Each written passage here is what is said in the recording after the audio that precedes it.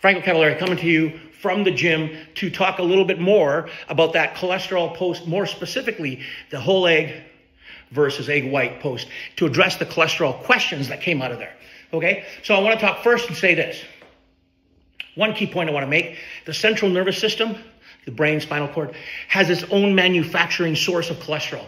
And the cholesterol in the body, the peripheral tissues, manufacture their own cholesterol, okay? So the pool of the body, the peripheral tissues, does not cross over to supply cholesterol to the central nervous system. These are separated, completely separate. Also, the dietary cholesterol you may consume from your food, okay? Your body will absorb less than 10% of that.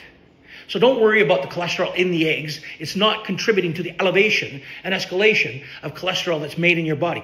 The biggest problem we have in terms of cholesterol mismanagement are two things. One is the diet that's contributing to prompts or signals to have the body make more cholesterol. Okay, high glycemic index foods, high fat, high saturated fat diets. Okay, now different from polyunsaturated fatty acids. I'm going to explain that. The high glycemic index diet that also can supply these are processed foods, high saturated fat content and trans fats.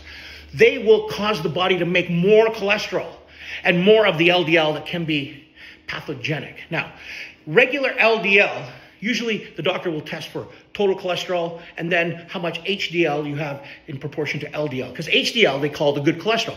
It brings cholesterol in to the tissues for storage or for use, while LDL brings it out for um, uh, for tissues that require cholesterol throughout the periphery of the body.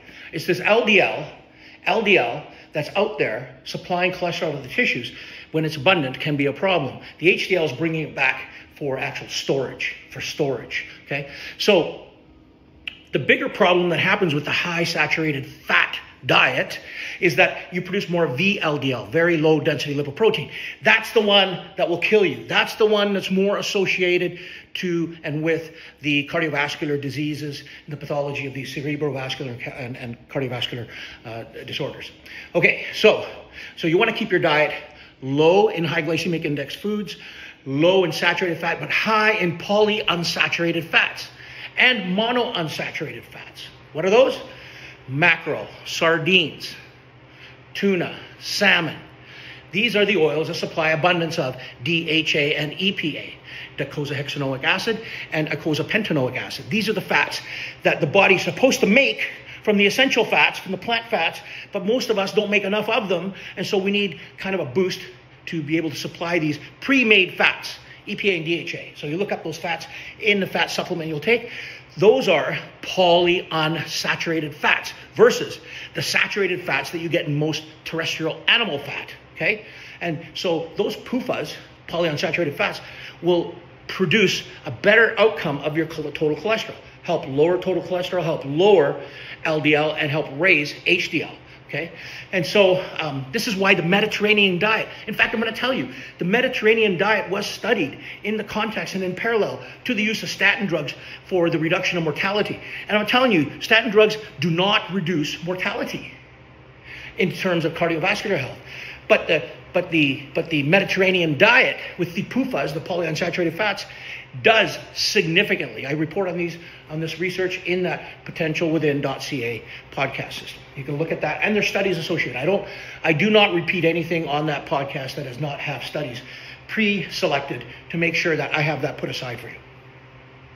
The other thing I want to talk about is statins in relation to cholesterol. You know that cholesterol is loaded in the brain. Your, your brain represents 2% of your body mass but the brain can have 25% of your total body cholesterol. That's amazing. Why? Because the brain requires cholesterol for communication of signaling and for structural uh, uh, structural integrity of the neuron, myelin sheath, and so on. And so, if you're limiting cholesterol, because of statin drugs or limiting in a diet, the body will actually produce it. But the statin drugs can interfere with HMG CoA, which is a specific enzyme the body needs, rate limiting enzyme for cholesterol production. Statin drugs will also cross the blood brain barrier, reduce cholesterol in the brain, and it's now shown that that can contribute to cognitive deficits. In fact, there's tons of research, and this has become so confusing because everybody's representing what they want to represent for their own bottom line. And here's the problem High cholesterol levels have been shown to contribute to AD, Alzheimer's disease. But low cholesterol levels are also shown to contribute to AD. And in fact, there's a missing link that people don't talk about, and that's oxysterols, which is oxidized cholesterol. You can talk, look at the podcast for that. Bottom line is, eat your eggs. Don't worry about that cholesterol. Your brain needs cholesterol. Your brain does not function without cholesterol. As you get older, research irrefutably shows. Research irrefutably shows the elderly who end up in hospitals who have very low cholesterol levels, higher rate of morbidity and mortality when you're sick. Chew on that.